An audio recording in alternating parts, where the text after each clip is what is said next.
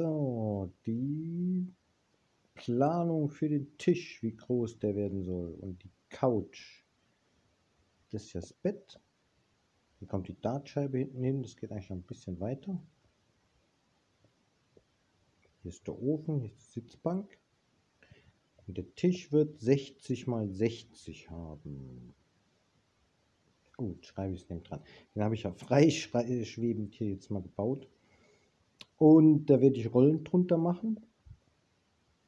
Da kann ich ihn auf Seite schieben, wenn er im Wege ist.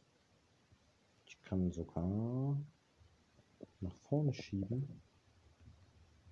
und da verschwinden lassen, den Platz brauche. Ich kann die Füße drauf machen. Ich kann einiges reinmachen. Und in dem Sofa, das kann man ausklappen, das geht dann bis quasi hier die gestrichelte Linie. Dann hat man 1,20 Meter mal 95 Liegefläche. Hier ist das Bleiglasfenster. Und selbst dann geht das super mit dem Tisch, dass man aneinander vorbeikommt, dass man hier noch lang kommt. Da wird es ein bisschen eng am Ofen vorbei, aber das geht. Ich würde sagen, das sieht geil aus. Und ich habe ein super geniales Sofa gefunden, schön mit Bettkasten, dass man auch wieder alles nutzen kann und einen super geilen Tisch, wo wirklich so die maximale Nutzung des Platzes mit, mit Staumöglichkeiten ermöglicht. Und da baue ich mal noch Rollen drunter. Und da kann ich den wirklich da, da, morgens zum Frühstück. Da, da, da, da.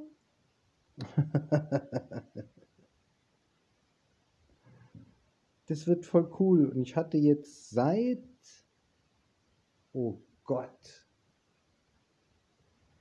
2008 kein richtiges Sofa mehr. Das selbstgebaute im, im Bus, ja, aber das war doch was anderes als ein, ein, einfach ein Sofa mit einer vernünftigen Federung. Und ich freue mich sowas von da drauf. Das wird Luxus pur.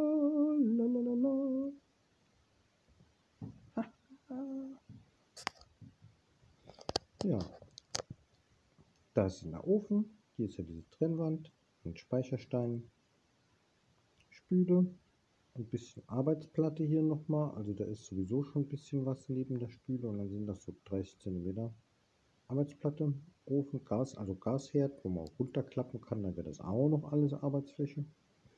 Und der ist das Arbeitsfläche. Und oben drüber hier sind ja schon die Wandschränke bis hierhin. Und hier ist der Spiegelschrank. Hier unten drunter kommt dann die Gasflasche hin. Da muss ich noch, brauche ich noch irgendwie so einen Kasten. Da habe ich schon ein Loch gemacht, dass das immer nach unten gelüftet ist. Da muss ich mir was einfallen lassen. Ja. Hier kommt dann der Bürostuhl mit dicken Arsch hin.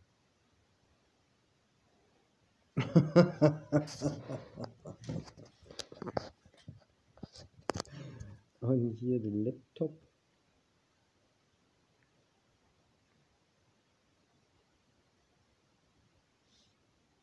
Den ich noch rumdrehen kann. Und kann hier geil liegen unter Bleiglasfenster in der Kissenburg an der Decke, angestrahlt vom Ofen. Nebendran die rein veganen Salatblätter und kann dann auch mal, ja, oh, so eine Lebenssituation ich schon ewig nicht mehr. Kann hier arbeiten, kann hier Tankis malen, hier ist das Fenster, hier ist der Arbeitsplatz für ich will nämlich wieder selbst Tankis malen. Hier dann so Bürokrams, Schreibgedöns und da drunter vielleicht mal, dann brauche ich wahrscheinlich irgendwie einen Drucker. Mal noch.